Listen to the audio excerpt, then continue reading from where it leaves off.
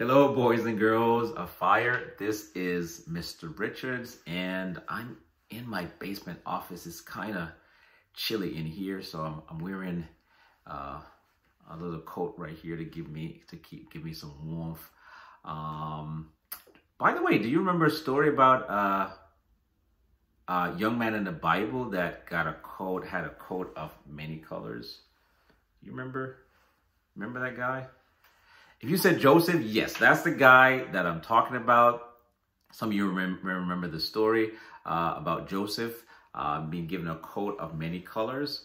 We're going to be talking about Joseph today, and we're going to be learning uh, uh, about a special character trait of Joseph, something that made Joseph very special. We're going to be talking about that today. All right. So before we begin, let's start with prayer. Father God, we bless your name. We give you thanks, Almighty God, for this awesome opportunity to bring your word to your wonderful children, the wonderful children of fire, Almighty God. We bless your name. We give you thanks, Almighty God. We pray that you open their minds and their eyes, Almighty God, and their hearts to your word today. Help us to learn something new, Almighty God. In your holy and most precious name we pray. We give you thanks. Amen. All right, boys and girls, what you're going to need for your lesson today, you're going to need your Bible, of course.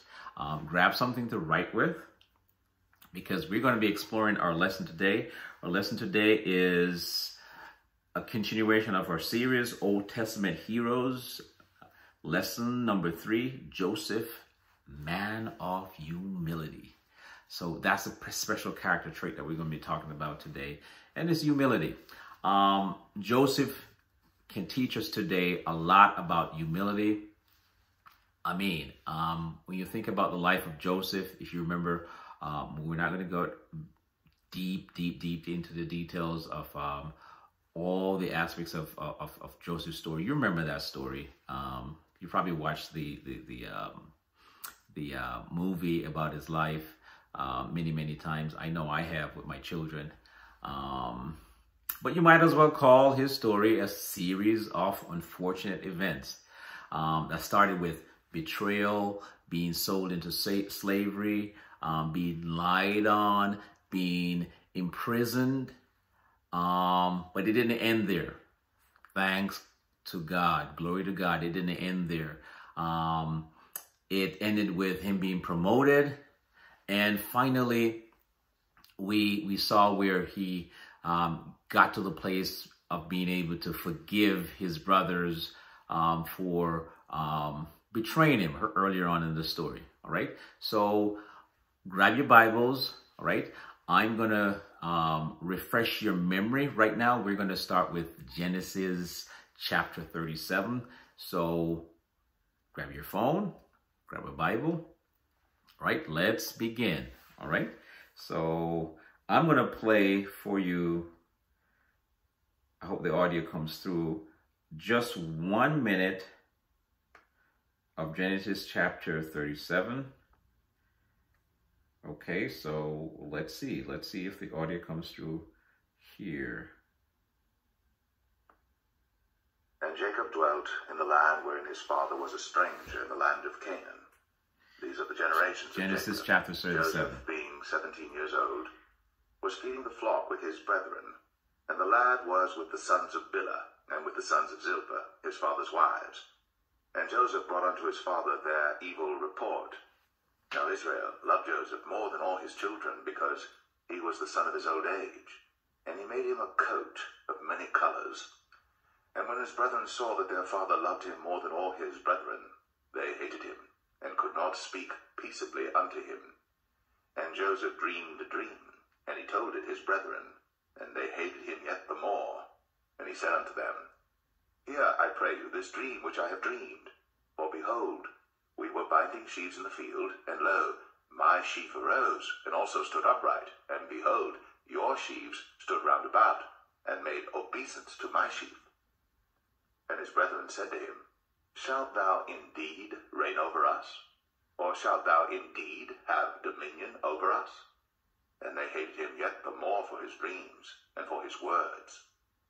And he dreamed yet another dream, and told it his brethren, and said, Behold, I have dreamed a dream more, and behold, the sun and the moon and the eleven stars made obeisance to me. And he told it to his father and to his brethren, and his father rebuked him and said unto him, What is this dream that thou hast dreamed? Shall I and thy mother and thy brethren indeed come ourselves to thee to the earth? And his brethren envied him. But his There we go. So Genesis chapter 37. I want you to read the whole thing. You can listen to it on your on, the audio Bible as well. Um, Genesis chapter 37. It's only about uh, five minutes um, in in length, um, but it introduces you to reintroduces you to the story and introduces you to this story if you haven't um, read it before. But we we're gonna really uh, look on the special character trait that Joseph learned um, through his many trials. Uh, we're going to call them also our ser- a series of unfortunate events that that began, um, as you just learned, heard in the story, um, from that time at about age 17 um, that Joseph got two special dreams and he shared that with his family and his brothers hated him for it um, so much so that they betrayed him um, and sold him into slavery all right? Um, we're going to pick up in chapter 39 uh, where joseph is sold into slavery and lands up ends up in the house of an egyptian called potiphar so um, pause this video. I want you to turn to um, Genesis chapter 39.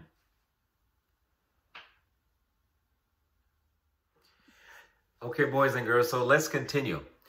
If you haven't had the chance yet, um, I want you to still pause this video and listen to uh, Genesis chapter 37 and Genesis chapter 39, all right? So pause this video um, right now and listen to, um, from the audio Bible, listen to Genesis chapter 37. It will remind you about the story about Joseph, um, how he started out, um, the reason, he started out pretty nicely, um, a young man that was loved by his, his uh, parents, um, but then he got betrayed by his brothers. Um, so read the story for yourself, listen to the story for yourself. So pause this video right now. I want you to listen to that. That is your to-do, right? That is your to-do. And after that, I want you to listen to um, 39, um, chapter 39, all right? So, okay, boys and girls, we have looked on chapter 37, okay, and chapter 39 and we're reminded of the betrayal, being sold into slavery. Um, all this happened to Joseph, um, a series of unfortunate events, being lied on, being thrown into prison. Um, but thank God it didn't stay there, right? It didn't stay there. Uh, and thank God also that um, verse 23 of uh, chapter 39 said, reminded us that God was with Joseph through all of that, all right? Uh, we're going to close by looking at the, the promotion of Joseph. Um, this is where Joseph's special gift that was given to him by God, being able to um, um, interpret dreams, um, landed him in the place where um, he's being asked by the king, all right? In the United States, that would be the president. Um, to interpret a very uh, special dream for him. So um, pause this video. I want you to um, read or listen to Genesis chapter 41, start at verse 25, right? So start at verse 25. Um, Joseph has this awesome, awesome, awesome, awesome uh, opportunity to um, interpret the dream of Pharaoh, a very special dream uh, um, from Pharaoh, the king at that time. and that led to his promotion. That led to Joseph's promotion. So um, pause this video, listen to um, or read Genesis 41, start at verse 25. Okay, boys and girls, so we are at our close. I asked you to um, read um, chapter 41, starting at verse 25. And we see, and I hope you had the opportunity to do it, to read it, um, to listen to it. Uh, we see um, Joseph now getting the opportunity to uh, be before the king. In our time, it would be maybe the president of the United States um, or some other president or prime minister, um, leader of the country.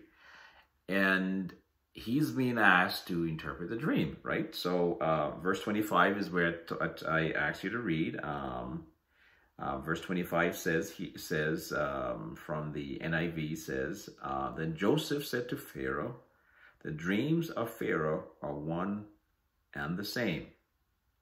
Uh, Joseph, uh, Pharaoh had uh, two dreams. Uh, God has revealed to Pharaoh what is about what he's what he's about to do. The seven good cows are seven years and the seven good heads of grain are seven years. It is one in the same dream. The seven lean, ugly cows that came up afterwards are seven years. And so are the worthless heads of grain scorched by the east wind. They are seven years of famine. That was Pharaoh's dream let me jump down to to uh, verse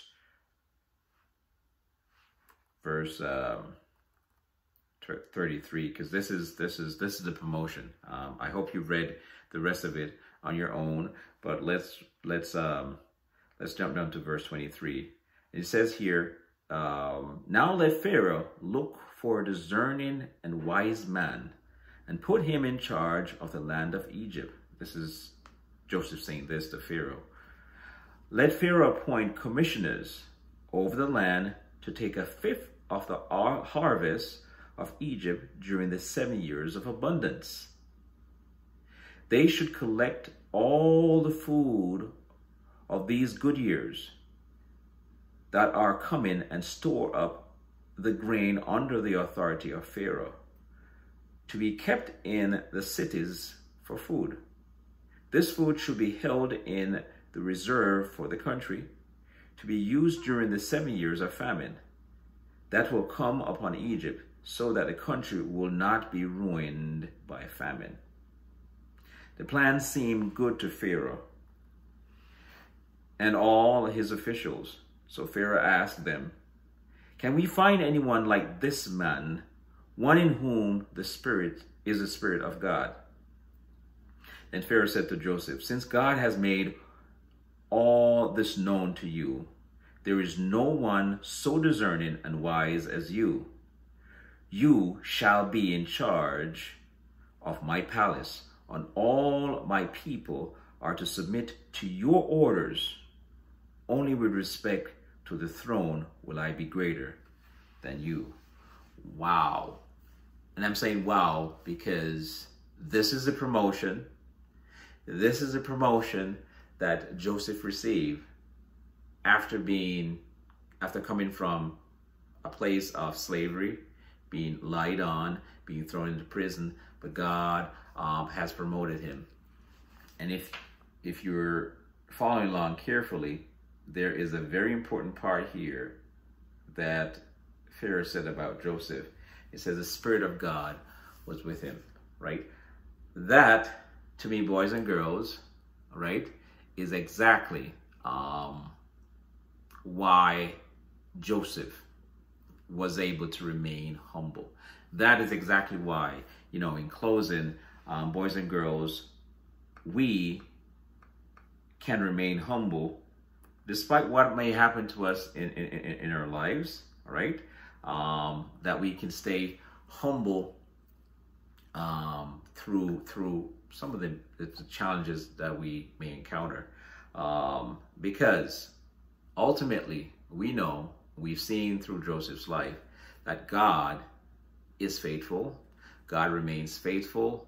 Um, it doesn't mean as believers we won't go through um, trials, uh, struggles. It doesn't mean that we won't get betrayed or anything like that. Um, but like we saw from the story of, of, of Joseph, um, God is with us. And very important too, you know, um, when we go from rags to riches, um, this is the last point uh, I want to leave us with, because um, that's the question, one of the questions um, I want you to think about. You know, can you stay humble before God? Okay, after you've come from rags to riches. You know, um, personally, I don't think um, Joseph would be in the Hall of Fame in the scriptures if he wasn't able to do that, right? Um, if he wasn't able to stay humble, right? Um, boys and girls, God has a special uh, promotion for all of us. Um, for those who can stay humble through our lows and through our highs, you know, staying humble through our lows and through our highs. All right. So in closing, I have a, a, little a prayer. I want everybody to pray with me because, you know, this is this is this is not easy. You know, staying humble uh, before God. Um, it's not easy to um, leave our bitterness. Um, it's not easy to to to um, walk in forgiveness, especially when we know we've been wronged and all of that. Um, personally, I think that only comes from God. You know, um, that came. We saw that in Joseph's life, right? We, we saw that uh, in verse 23. It says God was with him. Um, we saw that in chapter 41 um, that Pharaoh himself testified, you know, God is with this man, right? Joseph, right? So I'm going to pray this prayer with with you, and I want everybody to pray this out aloud, uh, and that's how we're going to close um, our lesson today, right?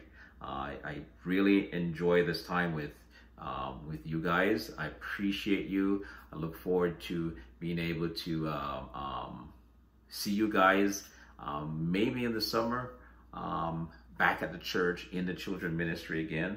But let's close in prayer here. Okay, um, pray this prayer uh, with me. It says, Dear God, I am not you. I am not God. Help me to be humble. I am a human. I am so small. Humble me. Amen.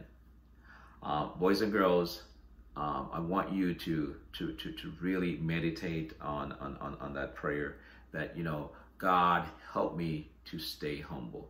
Uh, help me to stay humble um, in the, the low times. Help me to stay humble uh, when things are going great.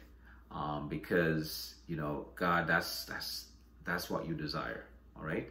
Um, so once again, boys and girls, thank you for this time to be with you. Um, I look forward again to seeing you all. Um, until we see each other again, I'm going to say bye and God be with you. God bless you all. Thank you.